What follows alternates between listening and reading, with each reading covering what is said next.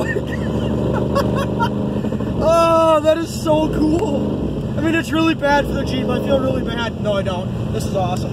Right, all right there.